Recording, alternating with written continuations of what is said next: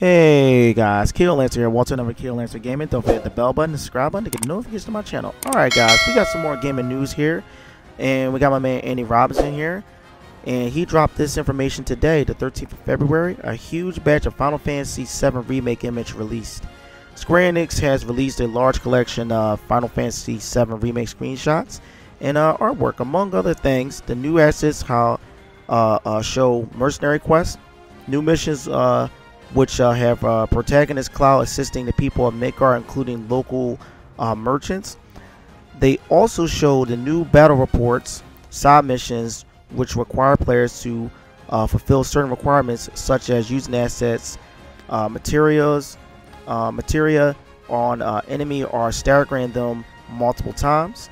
The Final Fantasy VII Remake release date was recently delayed by one month to April 10th, 2020 producer uh, Yoshi, Yoshinura uh, Kitase had uh, said Square Enix made the tough decision in order to give uh, ourselves a few extra weeks to apply final uh, final polish uh, to the game and to deliver you the be uh, the best uh, possible experience.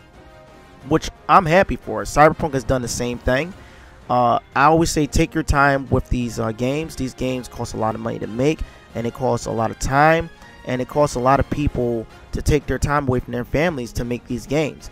And I always want the the the best of my games. I always want the best of my games. I never want um, a half a half um, done game. I want the I want the full game. Uh, even though this game is going to be released in parts, which I don't like that aspect of the game, but hey, we're getting Final Fantasy VII. Um, announced uh, at E3 2015, Final Fantasy VII is an episodic project that's expected to span several releases. The first release will be exclusive to PlayStation platform for um, one year. Um, my older brother tried it for the PC before, but also he's played it on PSP and he's played it on other um, PlayStation uh, uh, uh, uh contraptions as well, guys, like emulators and stuff. But um, when it comes down to it, I know I sound like a purist, but I prefer for this to stay on PlayStation. Um, uh, Kitase uh, has said that the level of content being created for each Final Fantasy uh, 7 remake title is uh, comparable to the full to the full game, and that expects uh, development of the second entry in the project to be more uh, efficient than the first. All right. Um, I have to say, guys, like I said before, um, I want my I want this game to be at full power. And as you can see in some of these screenshots, you have my man Hojo right there. It looks disgusting to me. And then you have um, the cactus. And I've always been afraid of that of that character since the old Nintendo Final Fantasy, all the way up into the to the new Final Fantasy, especially Final Fantasy 11.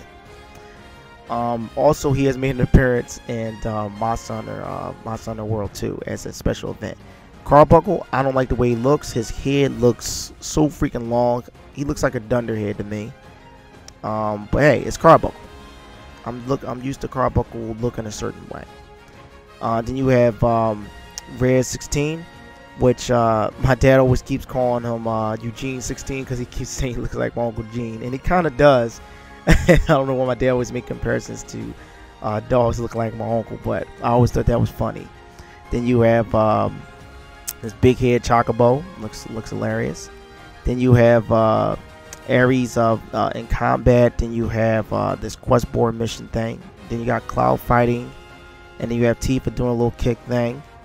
And then uh, for some apparent reason, you got this cactus shooting needles at this frog in the combat, and then you have this nice concept of uh, looks like kind of like a train station, and you got all these other visually appealing uh, uh, uh, concepts and all combat and stuff like that. I'm very impressed. I'm very impressed at the way this game looks, and um, I'm okay with this game being an action RPG.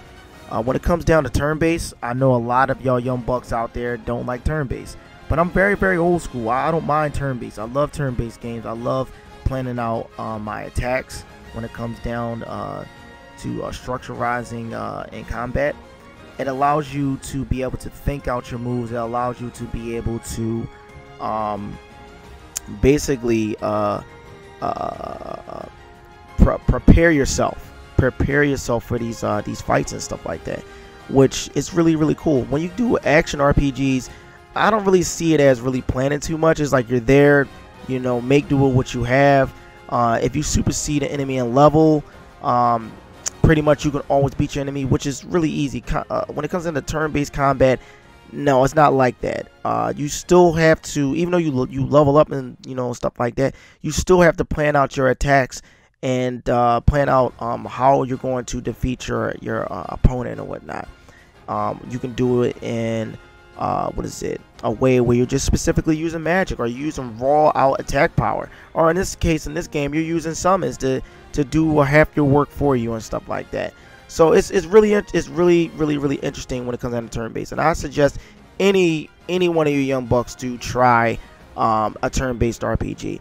If you want to try an active turn based RPG, you can go with uh, I guess Legend of Heroes. I guess you can count that as that right there. But also to me, Legend of Heroes had seemed to got that combat system from Grandia. Grandia is a good game as well, guys. But anyway, that about does it for the gaming news. Uh, don't forget the bell button, subscribe button to get notifications to my channel. Uh, also, guys, I found another gaming news website that I'm going to be using as well, not just the VGC. Um, so hang tight on that information, guys. And uh, yeah, this Keolancer, and we got more.